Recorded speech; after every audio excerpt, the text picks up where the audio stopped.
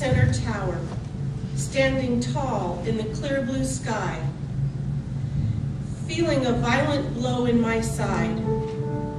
And I am a towering inferno of pain and suffering, imploding upon myself and collapsing to the ground. May I rest in peace. I am a pigeon plaza between the two towers, eating crumbs from someone's breakfast, when fire rains down on me from the skies, and I am a bed of flowers, admired daily by thousands of tourists, now buried under five stories of rubble.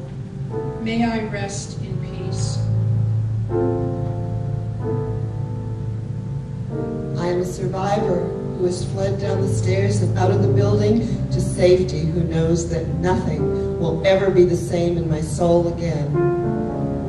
And I am a doctor in a hospital treating patients burned from head to toe, who knows that these horrible images will remain in my mind forever. May I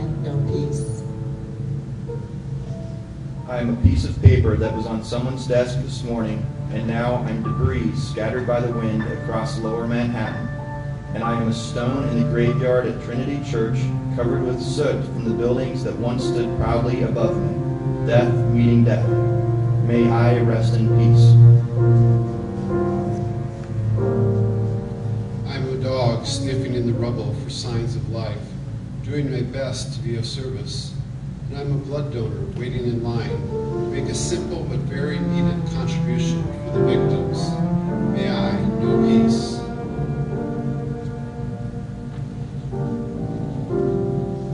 I am a loyal American who feels violated and vows to stand behind any military action it takes to wipe terrorists off the face of the earth.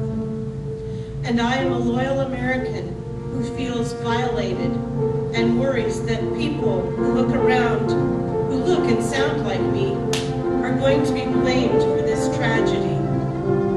May I know peace. I am a general talking into the microphones about how we must stop the terrorist cowards who have perpetrated this heinous crime. And I am an intelligence officer trying to discern how such a thing could have happened on American soil. And I am a city official trying to find ways to alleviate the suffering of my people. May I know peace.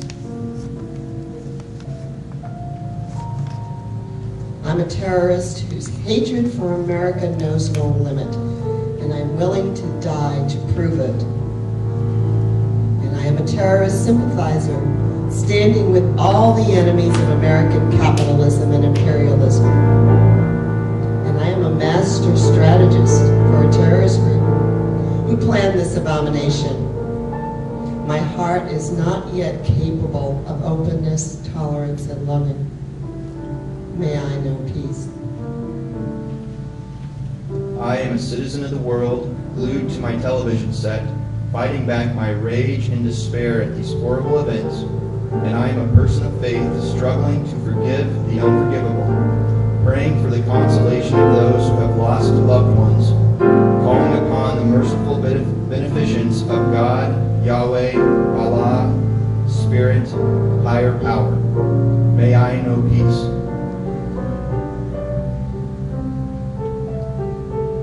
I'm a child of God who believes that we are all children of God and we are all part of each other. May we all know peace.